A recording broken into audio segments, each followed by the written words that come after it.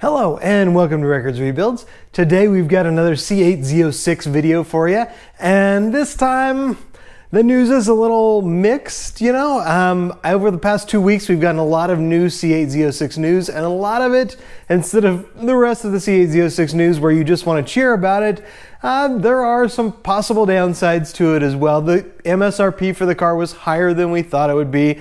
And then we find out about this program where um, they're going to, uh, if you own the car for one full year and you don't sell it, then you can get $5,000 worth of GM points. I'm excited about that. I mean, um, you know, it's five thousand dollars. You're gonna be. I'll probably use it on two sets of tires for the car myself. Um, but you could use it to make your payments on the car. You could use it for uh, any accessories that they sell, or like I said, for those tires that are gonna make me cry.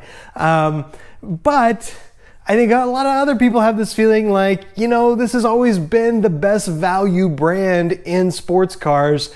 And I really wish I could just have that 5000 off of MSRP and like some sign some sort of a pledge that I wasn't going to resell it. Uh, but obviously that's not really going to work because General Motors have to get into litigation and all sorts of things like that. So I'm kind of got mixed feelings about that one. But the big one, the really big one that just dropped in the second part of last week um, is the news that it said in the beginning part of the warranty, but it sounds like now all of the warranty, pretty much all the meaningful parts of the warranty, other than things like seat belts and things like that, airbags, safety things, and, and recalls as well, of course. Other than that, the entire warranty is going to be voided if you sell the C8 Z06 within the first year of ownership. Now, on the one hand, you've got the people who are saying, ah, it's like four years till I can even get my place in line to buy a car. Yeah, I'm cheering for this. This is awesome. But on the other hand, you know, um, like again, this car has always been the best value in sports cars. And I just feel like putting limitations on that, even though they're not limitations that I expect will affect me in any way, makes it a little less exciting, you know? So um, the good news is, I think it was pretty vague about what part of the warranty that was going to be. Uh, and so we're going to go over that in a little bit because Jalopnik got in contact with General Motors and they actually got the exact parts of the warranty uh, that will be voided. So we'll go over that and then we'll go over, um, you know, what those actual warranty terms are for the new car. So that'll be kind of interesting. And then at the end, we're tacked on to the end here. We're going to go over uh, something that I think is most interesting to most of you guys, which is like, when is my car going to be built? When might my car get to me? So we've got updated data that we can plug into the calculator. And I'll tell you when I think my C8 Z06 is going to be coming and how you can use the calculator to figure out when your C8 Z06 might be coming. But first, let's look at those warranty terms. Okay, so as you can see here on the Jalopnik website, they're carrying kind of the same news as everybody else. GM will cancel your warranty if you buy your Z06 from a flipper. But then you see this update here, and it looks like if we scroll down here, let's see, yeah, right here. If we scroll right down to this bottom part here, they say a GM spokesperson gave the following details to Jalopnik. For Corvette Z06 and Escalade V, if ownership of the vehicle is transferred from the original owner within the first 12 months of delivery, the bumper to bumper, powertrain, sheet metal, and tire and accessory coverages will be voided.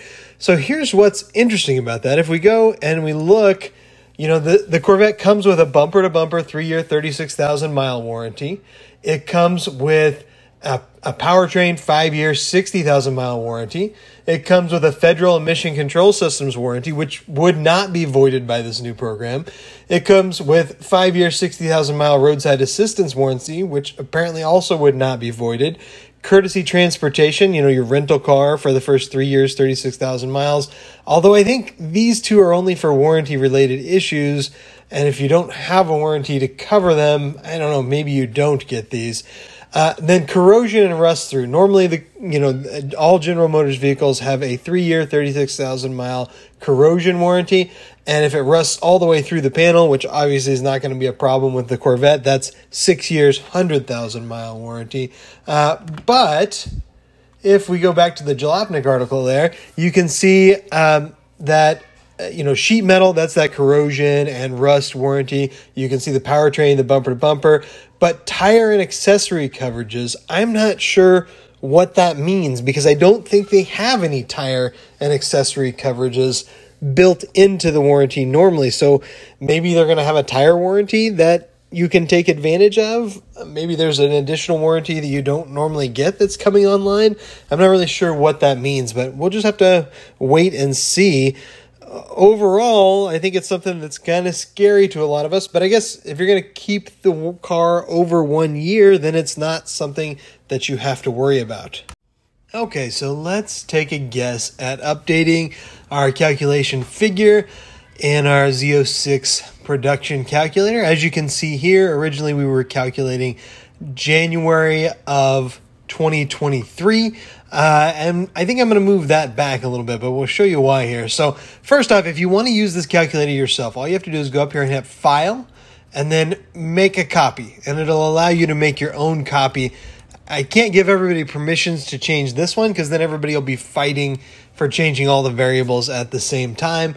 Uh, but you can make your own copy and input your own values. So the first value we're going to look at is the total number of Corvettes produced in the first calendar year after Z06 launch. We had pegged that at 30,000 in the past, but let's head over to midenginecorvetteforum.com so we can take a look at some of the actual production numbers since 2023 Corvette production started on May 20th.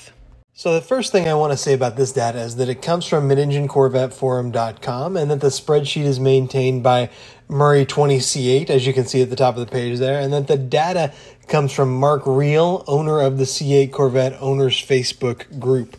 Now, if you look at the data here, you can see all these blanks here for the future are filled in with the number 184. 184 Corvettes produced a day. And that's very possible. We've seen them do over 190 in a day before. But if you look above that at the number produced per day and the number produced per week, we haven't consistently or really ever been reaching that 920 per week number that is necessary to do what GM wants to do and build, you know, 40 to 44,000 of these cars a year.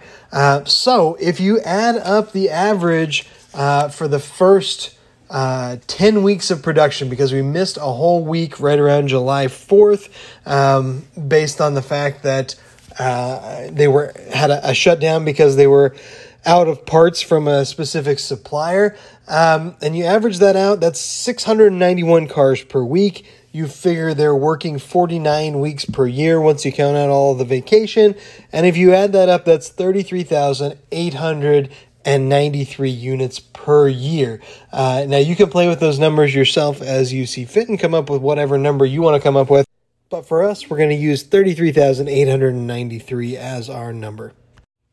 Okay, so the first thing we're going to do back on our calculator here is we're going to change our total production number to 33,893. Then we're going to change our starter production date. We were a little optimistic to 9 15 2022.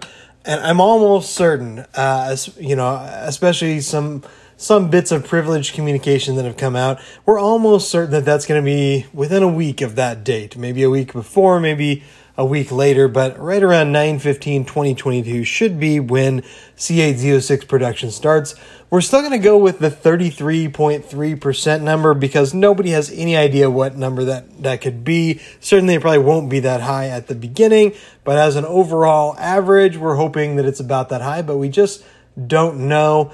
I'm going to leave the one week without any cars being produced in there as uh, as sort of um, you know just a uh, something that I can use to buy me some time since nothing ever works out as good as you expect. And then um, this whole part here, if you check back in another month or so, or another two months, we should be able to get rid of this whole 2021 Corvette sold to your dealer and percent of Z06 production because we should be able to get from your dealer about how many allocations per month they're getting, and that might be a more accurate way of putting that in there. But for now, the number of uh, of C8 sold in 2021 is still what I'm going to use to um, to rank my dealer there and how often they get allocations. And you can see putting all this in here changes the week of production to 316 2023.